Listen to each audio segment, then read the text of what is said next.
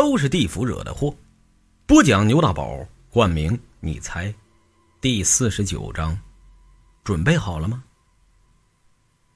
现在这时间是下午五点一刻，范畴和郭瘸子已经站在夏冰家鬼屋的门口，没有敢贸然进去。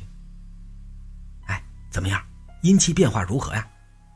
范畴低头看罗盘，问低头看罗盘的郭瘸子。他们现在呢？试着搜索了一下。但提示的还是时辰未到，无法开启。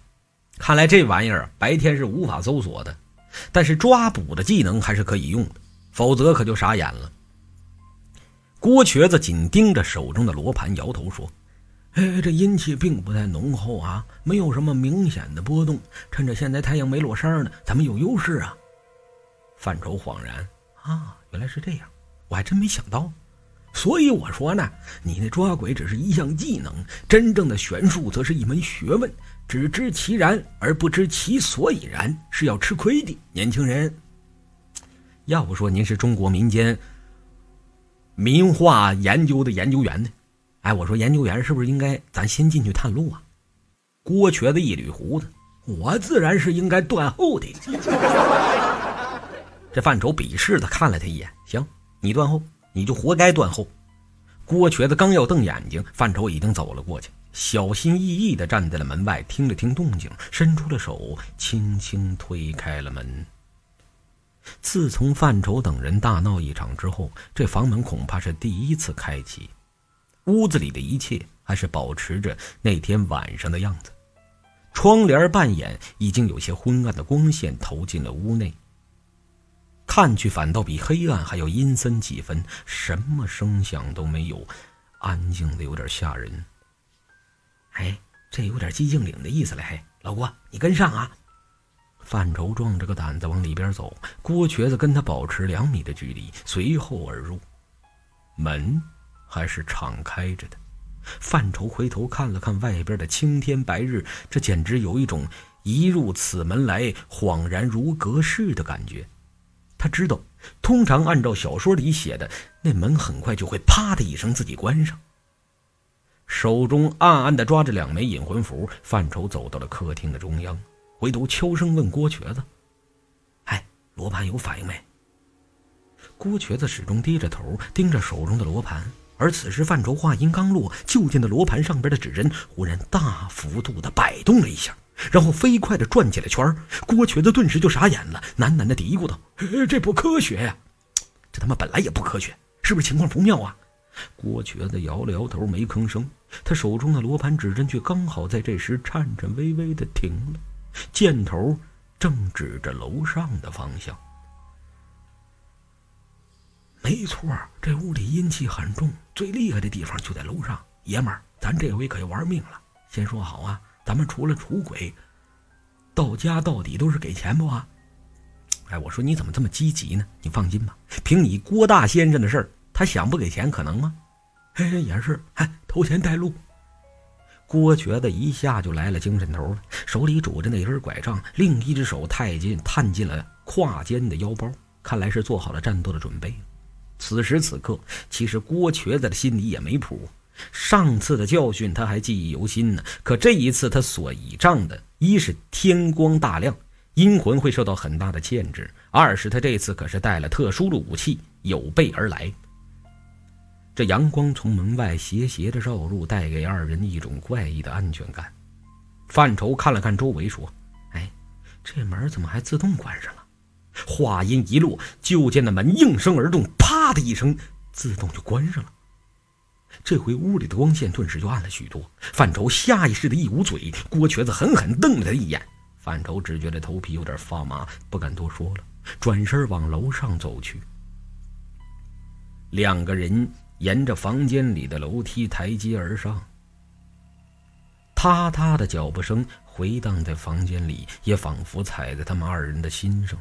范畴大气儿的不敢喘，心里却在纳闷儿。进来老半天了，怎么一个鬼都没看着啊？上次晚上可是刚到门口就出来好几个了，难道上回夏斌的吸引力那么大？妈的，鬼见了老子都懒得出来。正这么想着呢，范畴的面前冷不丁就出现了一张人脸，就在楼梯口的位置，面无表情的看着他。郭瘸子一把拉住扬手就要打过去的范畴，低声道：“哎，侧身让路。”范畴一愣，不自觉的侧过了身，跟郭瘸子站在楼梯的一侧。就见那个人脸晃晃荡荡的，就从两人身旁飘了下去，连理都没理两个人。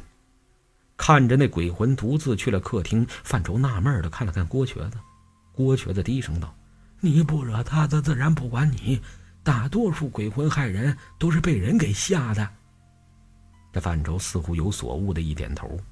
俩人继续往上走，再次来到了上次见鬼的房间。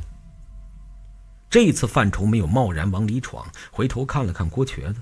郭瘸子一直低头看着罗盘，此时那指针在小范围内不断的晃动，一会儿指向面前的房间，一会儿又指向走廊的深处。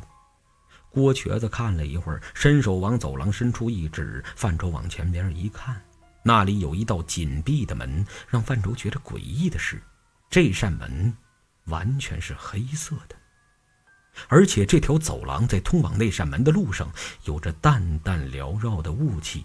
范畴知道，那是快要凝成实质形态的浓郁阴气。现在只有他的阴阳眼能够看到，可再过些日子，就连普通人也看得到了。显然，那里就是这屋的阴气最重的地方。凤姐或者就在里边，花小新也很可能会在里边。郭瘸子默默地从怀中掏出两个尺余长的小剑，递给范畴一个，悄声说：“开了光的桃木剑，关键时刻比灵符管用，我爷爷传下来的。”范畴心中一喜，赶忙接了过来，入手沉甸甸，一看就是上了年头的老古董，正宗的好货色。俩人蹑手蹑脚地往前边走，一步跨入了那阴雾之中。眼看那黑色的门就在面前，范畴的心跳是越来越快了。他突然觉得自己原来一点把握都没有，就闯了进来，这是不是太冒失了？但是此时此刻才想起这一点，明显晚了。范畴小声的问郭瘸子：“咱等下要硬冲进去，准备好了吗？”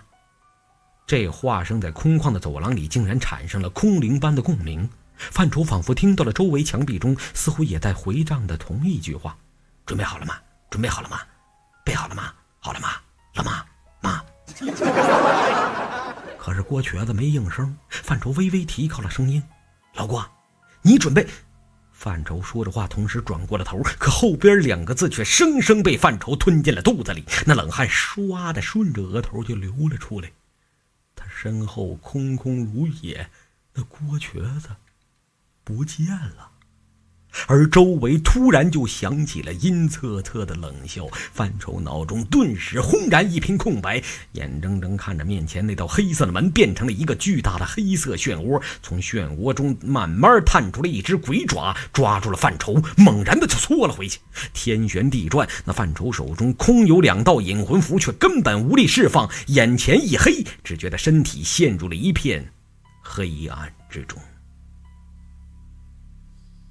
好了，以上就是我为大家播讲的《都是地府惹的祸》第四十九章的故事，感谢大家的收听。